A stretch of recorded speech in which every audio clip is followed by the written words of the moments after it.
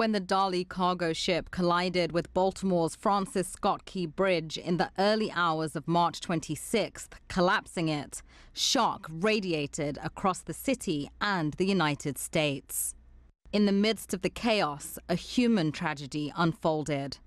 Six construction workers who were filling potholes on the bridge perished their sacrifice highlighting the dangers of construction work, a profession overrepresented by Hispanics and Latinos in the U.S. At a Monday evening prayer service for the fallen workers held at the Sacred Heart Church, the community congregated to honor their memory. It is important for us to respect and honor their contribution, and in this particular circumstance, to see how best we can be creative in assisting the families. Not only are families here without a breadwinner, without a father, without an uncle, without a loved one, back home they are also feeling the pain, not only at a financial level, but also at an emotional level.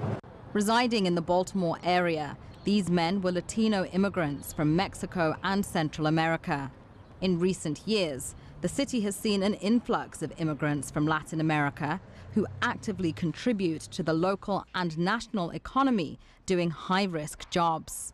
They are the essential workers. They are the people literally constructing our roads, constructing our homes, constructing our buildings. These are not people who've come across the border to do horrible things to people. They are part of our society. They are our neighbors. They are our community.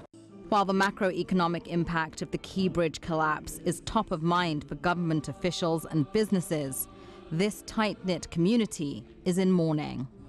I've thought again and again in my mind and heart, though, about the families of the men who lost their lives and how suddenly it happened and how uh, violently it happened.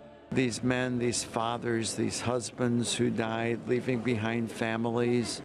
Baltimore's Latino community, like those across the nation, often labors under harsh conditions for low pay and minimal worker benefits.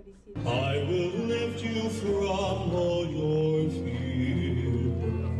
And yet, in the face of tragedy and adversity, a coming together in hope and faith. Here at Sacred Heart Church in Baltimore, a community gathering to remember the six men who died when the Francis Scott Key Bridge collapsed. Their loss not only felt by their loved ones, their community here, as well as in their home countries, but as frontline construction workers, their deaths a loss to the United States.